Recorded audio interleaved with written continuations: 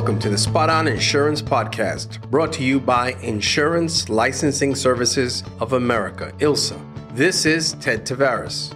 And this is Arlene Tavares coming to you from beautiful Puerto Rico. Today, we'll be taking a closer look at a topic that affects every single one of us. But before we get started, don't forget to click on the subscribe button so you don't miss a single episode. And now, here's our host, Doug Foresta.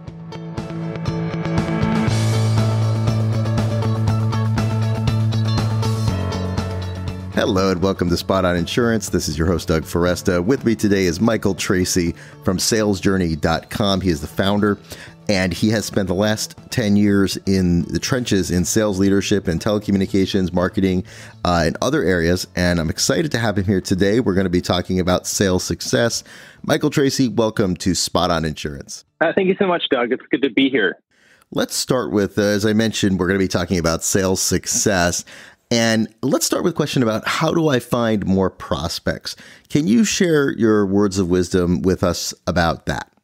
Absolutely. So, uh, know, this is like the number one question I get to in my training practice is, you know, how do I find a great lead source? You know, how do I identify more lead sources? Where do I find people to call, to meet with? Uh, and I think we live in an interesting time. You know, there's social media has never been more prevalent. And so the options out there are manifold. They're they're all over the place. Uh, so I I focus people in on how to leverage social media, uh, how to use and really get uh, results from LinkedIn because LinkedIn can be a crapshoot if you don't know what you're doing. Um, but I think the most important lead source for uh, you know people in financial services and insurance professionals is their existing customers, their existing clients, and really kind of selling through from the initial point of contact and, and really focusing on getting that referral uh, at, a, at a later date. So, what sort of uh, what sort of level of service would you need to provide in that first or second interaction to get them to become not only you know your customer but also a fan and an advocate, and then go around and actually recruit people and send them to you uh, for more business. That's great. And that actually ties in with uh, the second point that I was going to ask you about, which was getting more appointments. So, how do I get people? It's one thing to get prospects, but how do I get people to actually uh, set up appointments with me? Right. And so, actually, this, this is uh, something I teach too. It's one of the first things I teach. And oftentimes, we make the mistake as sales professionals, we get really excited and enthusiastic about our product or service. And so, as soon as we identify somebody that might be interested, uh, we tell them all about it right? And so it's what we call a throwing up on the customer. And yes. I, I advise against that, especially when you're selling something like insurance or financial services. I usually teach uh, for most most sales professionals. I teach something called the three sales method, and what that means is essentially breaking out one sale into three different parts. And the first part is when you really get to sell yourself, right? You're selling yourself as an authority, as a professional, somebody who's honest, somebody who has references, uh, and really selling your credibility. The second sale is for time. You know, time is a valuable resource, just like money. And before you can ask somebody to pay for anything, you have to first sell them on on time, and that's and that's the appointment. And so, if you go out with the mentality, look, I just need to sell people on appointments. Number one, it takes the pressure off, right? You're not trying to sell your product yeah. or service. You're not trying to throw up all over the customer. You're really just trying to engage them, kind of from your genuine, true self, you're trying to expose that you are credible, you are an authority, and then you can sell them and close them on an appointment. And the appointment offers you all kinds of wonderful things. First of all, it gives you the um, the ability to actually show up on time and fulfill your first commitment, which also adds to your credibility. But then it's a mutual agreement that you get to talk about your product or service. And so you don't have to speak quickly. You don't have to get it all out really fast you get to take your time, ask the right questions, listen, and then present your solutions in a more natural and calm and calm way. Thanks so much for that. Well, let's talk about let's move on to qualifying prospects. So obviously, you know, for an insurance or insurance agent, we want prospects, but we want qualified prospects. So can you say a little bit about, you know, what does it mean to be a qualified prospect? What is it to qualify a prospect? And how do I qualify a prospect in a reasonable amount of time? Sure. Yeah, so a qualified prospect has a need, a desire, and an ability to pay. So a need is is obvious. They they actually need your they genuinely need it, right? Now, if you're a really great sales professional, you can probably sell things to people that they don't need, but that would result in kind of our, our core goal, right, is to get a referral or a reference after the sale is made. So a need, a desire, right, which is which is the want, and you can actually create desire uh, through education, uh, by uh, having a persuasive and influential presentation, and then uh, the one thing that you can't much affect is the ability to pay. They don't have you know money, then that really hampers your ability to make a sale. And so those would be the three main ones: need, desire, and money. Now, if you're dealing with you know a larger enterprise or you're dealing in a situation where there's multiple stakeholders, the two other pieces or qualifying criteria are authority and timing. So you need to figure out if the person can actually make a decision regarding whether or not they can buy from you or not. And the other thing is timing. You know, a lot of times uh, with larger enterprises or bigger organizations, they only buy at a certain point in the quarter. And so those would be the five need, desire, money, authority, and timing. And if you get all those, then you got a really qualified prospect. Thank you. Well, you know, that segues nicely into what I want to talk about next, which, you know, you were talking about slowing things down, slowing the sale down. And of course, you know, there's the importance of building trust and rapport in the sales process. And I was wondering if you could say a bit about how do I go about building that trust and rapport uh, initially and then also over time? How do I build up that trust and rapport? That, that's that's a really, really great question. I get that one frequently. Uh, so one of the issues with insurance and just financial financial services in general is it's a highly commoditized product, right? There's not a lot of differentiation when it comes to different types of insurance other than price. And so the key factor then is how do you differentiate a highly commoditized product? And the only way to really do that is with with yourself, right? It's your presentation. It's going to be the the trust and rapport that you create.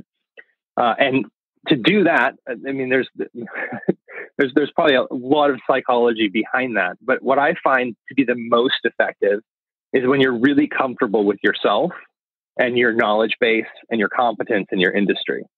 So it's really hard to duplicate that and to be just genuine and to really be focused on your prospects' needs and wants and to want to serve them genuinely and deliver a product that really is going to give them long term value is probably the best way to do that. And that that's something that not only once you do it once, by serving that customer, you're going to basically create a reputation and that will be able to be leveraged for to get more customers.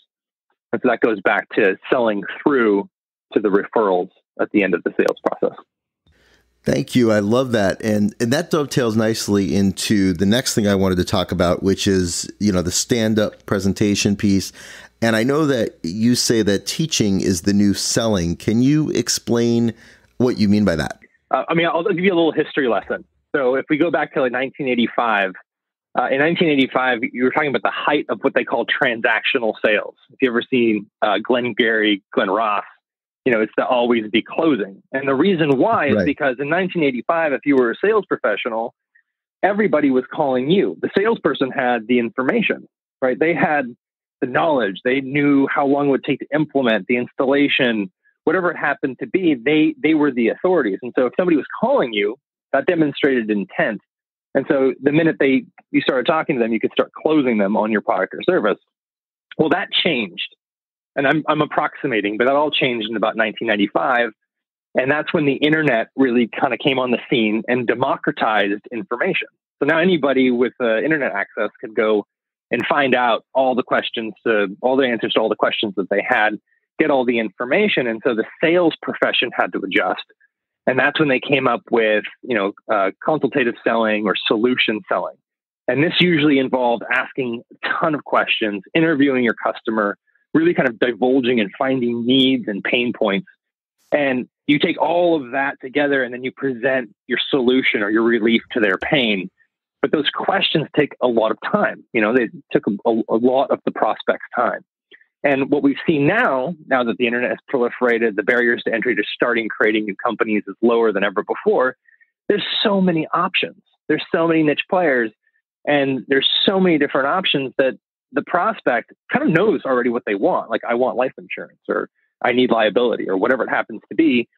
And they go online to find the best option, and they're overwhelmed with hundreds of options. And so mm-hmm. they get, you know, paralysis of analysis and they shut down. And so the best way to cut through that is with what they call, you know, educational selling or insight selling. And it's to front load your presentation with a lesson, something that you can teach them and not just anything. You know, you can't just, you know, talk about inflation. That's common knowledge now. Um, or, or the need for life insurance. You really have to uh, kind of blow their mind. And that only comes from really understanding your industry, really kind of being cutting edge. And then if you front load, you know, your presentation with a five to 15 minute lesson, something that they didn't know, something that empowers them, that makes them enthusiastic about your product or service, it's much easier to kind of follow that sale to fruition and close because the end result of you educating them is them feeling empowered and motivated. And not only that, if there are multiple stakeholders, and I say stakeholders like an enterprise, but this could be, you know, a wife or a husband.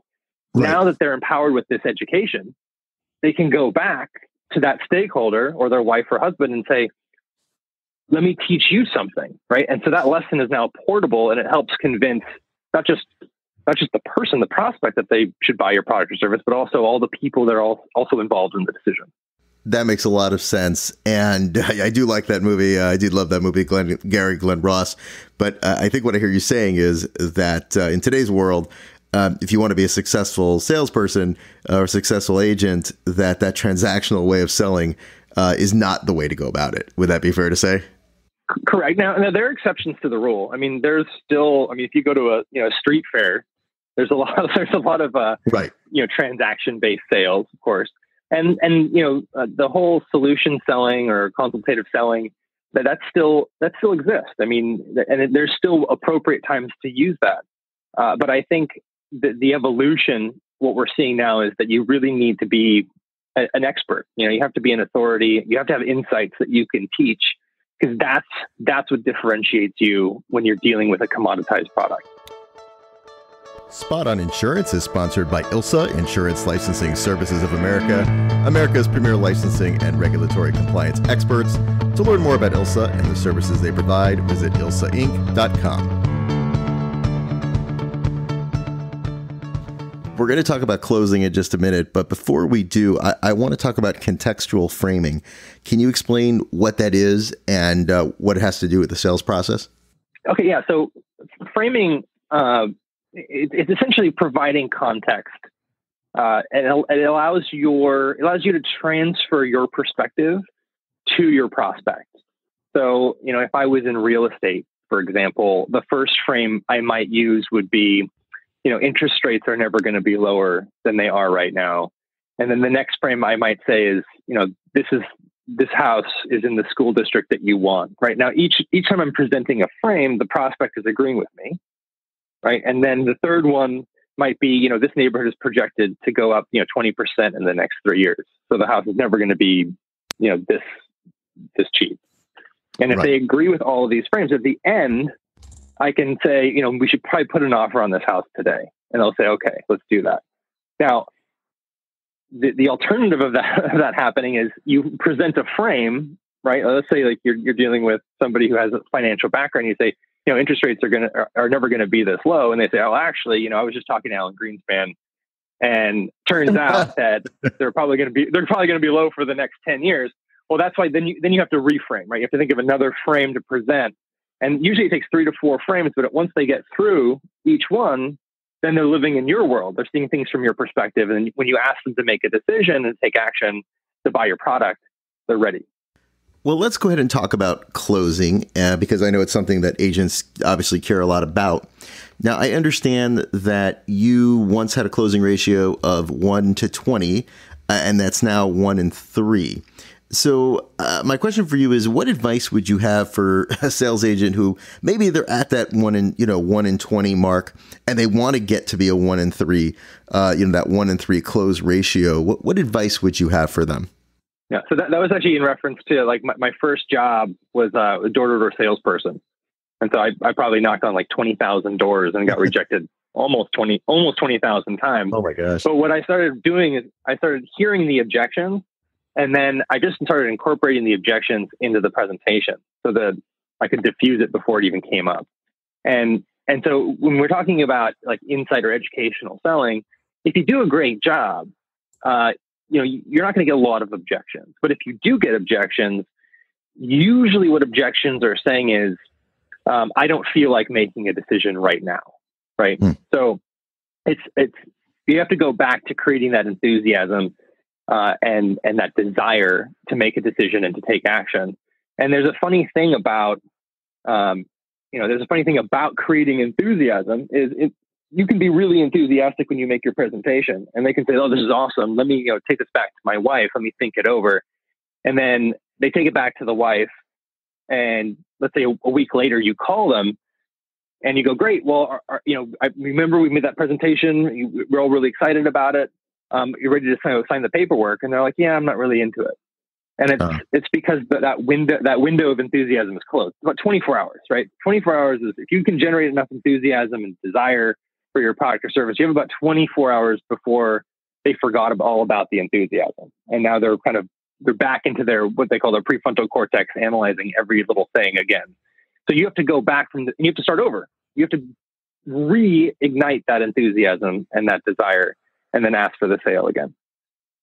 Um, but to, to, go back, I know we got off track a little bit, no, but to go back, the best way to, yeah, the, the, the, best way to, the best way to do it is to always, after your presentation, if you guys are excited, ask for the sale. Just make sure you ask for it. And and the best the best way to ask for the sale is is kind of the what they call the assumptive close, and it's my favorite. And it just you know it's just it's just saying, hey, you know, Mr. Prospect, the next step is right that we fill out this paperwork, or the next step is is that you sign here. The next step is this, and you start filling out the paperwork for them. You start assuming the sale, and now if they're not ready, they'll stop you and they'll object.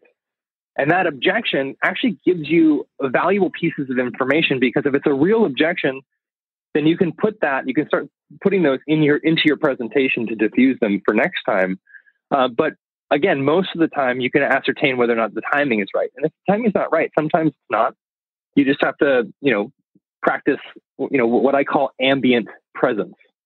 Right? It's not following up and asking, you know, to fill out the paperwork over and over and over again. It's it's following up gently. You know, like instead of asking for another meeting or asking for the sale, it's you know sending them an article mm. about their industry and saying, I, I thought you might find this valuable, or you know maybe inviting them out to lunch or you know some, something that's less uh, you know invasive. It's, but staying on their so you're kind of every, you're, in some way. Exactly, top top of mind awareness that that should be the goal. It shouldn't be to to force them to find to to, to make a decision. It should just be to appear to be everywhere all the time without being annoying. Any other advice about closing for agents? I, I know that agents will be very interested in this subject, so wanted to see if you had any other thoughts or, or words of wisdom on the subject. In, in for financial services, financial services and insurance professionals, you know, you you're going to have the best sense of you know, whether or not the prospect is ready and willing to make a purchase. You can always go back to kind of the, the classics, right? What I, what I call the sales classics, which is scarcity. So creating scarcity where there was none before, like for example, you know, these rates are actually going to go up uh, next month. So it would be really great if we could lock them in today by, you know, filling out the paperwork. Um, so scarcity, the fear of loss is another one. You know, I can't guarantee you know, this plan is available next month. So we should, really should lock it in. I mean, wh- whatever. So I, I, would say the, the two big, you know, uh, the two big ones are going to be fear of loss, create, creating a fear of loss for the prospect, and then to create a sense of urgency. Uh, and and really, what you do is you create those things. You create a fear of loss. You create a sense of urgency, and then you ask for the sale again. Hmm. So, and and oftentimes, what will happen is the prospect might say something like, "Oh well, okay, well if it has to be this month, let's do it. I'll take it." right. So uh, that, that that would be my suggestion. And also, so to, to kind of go go to the last part of the sales process, what I find really valuable too is I've created this concept based on what the tech industry calls, you know, minimum viable product. Mm-hmm. I've, I've come up with another acronym. It's minimum viable sale, right? It's the smallest thing that you could sell to someone that would make them a customer. So in, in and it's not always the biggest commission, but if you can make them a customer, even a small customer, then you can start really leveraging that customer and really enhancing the lifetime value. Maybe after six months, you can go back and say, you know, well, you had another kid. Maybe it's time to you know increase your life insurance policy, or you know, you've added you know a few different employees. There might be a, you know cost savings to adding these things now, these plans or whatever. So uh, the concept is minimum viable sale, and it's the smallest increment that you could sell to someone um, to your prospect, to your, to your to a business that makes them a customer, and then that really enables you to leverage and maximize their lifetime value. Well, that makes sense. I mean, that speaks to what you talked about about not wanting to be a commodity, and also what you said about building trust and you know building that trust w- with a customer, so that I would imagine that minimum viable sale it gives you the opportunity to to build that trust. Doug, that's exactly right. You're exactly right. And, and so it, it, it really, if you think about it, the sale is less important than the relationship. Hmm. Uh, you, and, and you don't want to you don't necessarily go into the friend zone. You can't be friends with all of your customers. right, right, right. But you but you can, but you can form a, you know a great business relationship with people based on trust, uh, based on accountability, based on timing, based on you know shared interests, um, shared sense of humor, shared personalities, things of that nature. Because ultimately, I mean, especially especially when you're selling financial service products and insurance, you know, these customers are going to be your customers for a long time. Well, my guest today has been Michael Tracy from salesjourney.com.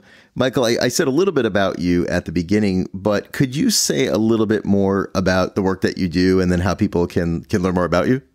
Yeah, so I'm, I'm, a, I'm a speaker and a trainer. Um, I've started a company, training company called Sales Journey. It's at salesjourney.com. And it really is a holistic training on sales, where you are, how to, how to do career progression, how to really move in the right direction and what I find is most people know what their sales strategy is, right? And that's to make more sales or get more clients. I mean, that's the strategy. And so I don't focus on strategy. I focus on tactics.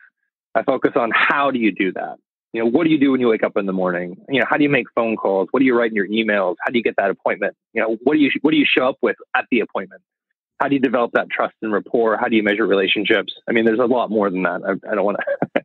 I know we're running out of time, mm-hmm. uh, but if you're curious, uh, feel free to contact me. My email address is michael at michaeltracy.io, or you can go to salesjourney.com to learn more.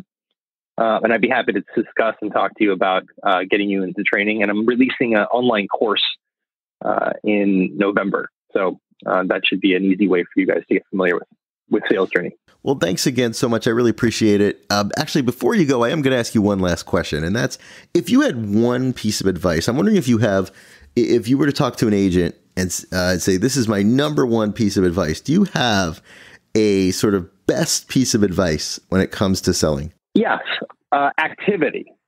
So I, I feel like this is something that people come back to over and over again. It's consistent time and energy and activity every day. And so um, the the idea is never stop prospecting.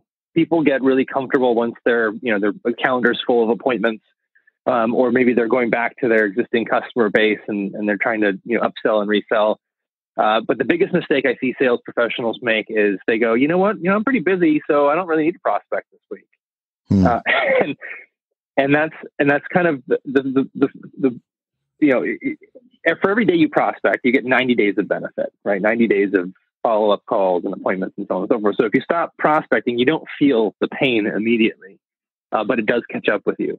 And so even if you're just prospecting aggressively for, let's say, an hour a day, because you're so busy with appointments, that's still better than nothing. So reach out, constantly be looking for new business, go to networking events, make cold calls, email, leverage your existing customers, ask them, ask them for referrals.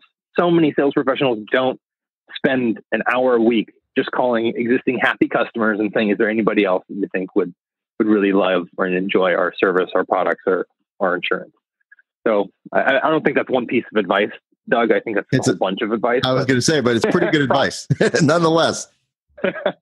yeah, so keep the activity level up. right? And and then just I mean just to help you with that, I'll give you one last piece of advice. Sure. And this is based on behavioral psychology. Uh, so enthusiasm, what they found out with enthusiasm is that you, if you sit around and you wait to be enthusiastic, it will never happen. You actually have to act enthusiastic to feel enthusiastic. So the, the action actually uh, precedes the feeling. So I would say just pick up the phone, start making calls, go to networking events, be enthusiastic, and eventually you'll feel that way. And there's a cumulative effect that that will have on your energy level. Michael Tracy, thank you so much for joining me today and for sharing your words of wisdom. I really appreciate it. Thanks, Doug.